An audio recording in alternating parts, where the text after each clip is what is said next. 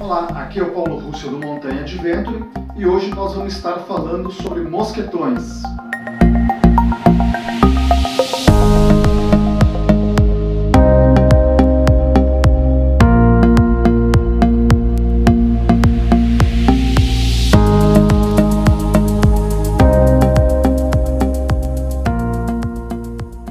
São basicamente três tipos de mosquetões.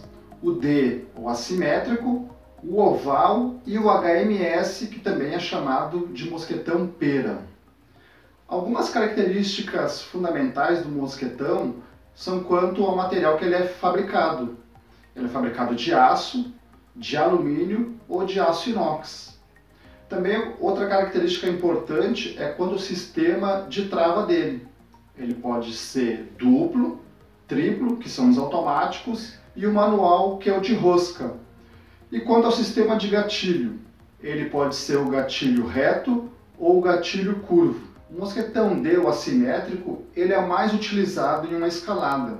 Geralmente em uma escalada nós levamos de 20 a 30 unidades, porque quando nós vamos escalar uma parede de rocha, nós temos que levar a costura. Notem que para fazer uma costura, que é uma união de dois mosquetões assimétricos, é a união de dois mosquetões unidos por uma fita. Esse conjunto nós chamamos de costura. Como é que é utilizada a costura? A costura ela é utilizada durante a escalada e ela é fixada com um gatilho reto na chapeleta que vai estar na rocha.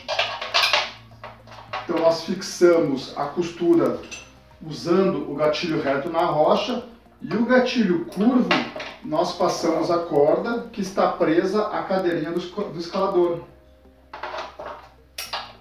Notem que ele tem esse gatilho curvo especialmente para facilitar a colocação da corda. O mosquetão oval ele é mais utilizado em escaladas clássicas e nas artificiais porque fica muito mais fácil você utilizar os equipamentos de escalada artificial.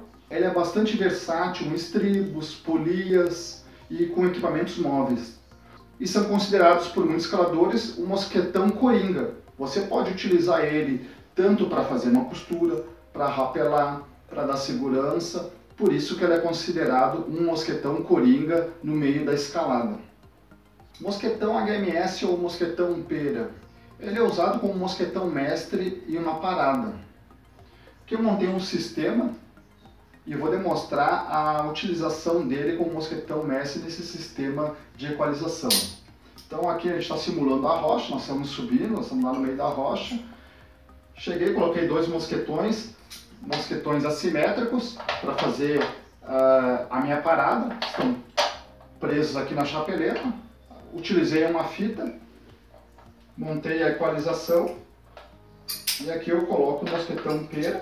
Sempre quando eu utilizar o mosquetão, se ele for gatilho automático, ele vai fechar automaticamente. E se ele for de rosca, eu tenho que sempre observar se está fechado ou não a rosca. O que, que eu utilizo nesse mosquetão mestre, nesse sistema? Aqui onde eu vou dar minha segurança para o segundo escalador. Aqui eu vou utilizar o nó IAA que é um nó bastante utilizado na escalada para estar tá subindo o segundo escalador. Eu consigo dar a segurança do próximo escalador somente utilizando este sistema aqui. Umas dicas que eu tinha que passar para vocês sobre mosquetões eram essas. Espero que vocês tenham gostado. Em outros vídeos nós vamos estar passando mais algumas informações importantes sobre mosquetões. Nesse primeiro vídeo foi para você ter o primeiro contato, para você saber conhecer e diferenciar os tipos de mosquetões que nós temos no mercado. Então te convido aí para você seguir nosso canal, para você curtir nossa página no Facebook, no Instagram e no YouTube. Se você gostou, compartilhe esse vídeo, comentem, deem sugestões, nos sigam, porque afinal de contas esse vídeo é feito para vocês. Certo pessoal? Até mais, um grande abraço.